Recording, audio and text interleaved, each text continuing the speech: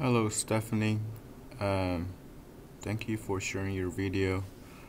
Um, I'm sorry about your friend passing away and um, to honor your friend by using the water bottle and to promote um, that the water, the importance of using water and to contain uh, whatever uh, comes in the water.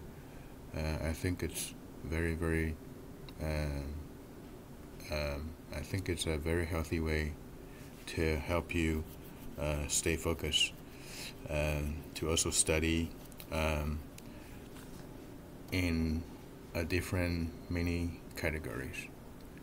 Um, but I think I have only a minute. So, with the study of this book, uh, the, the the tramp of the city it talks about water itself. Um, I wrote in a comment um, about one charity in which runs the profit by demands um, takes the passion out of the uh, the driven um, of that energy. But if one point comes in mind that requires to think about one earth divided by, by each city and how we can still hold one plastic cup drinking the water that is uh, equally disputed.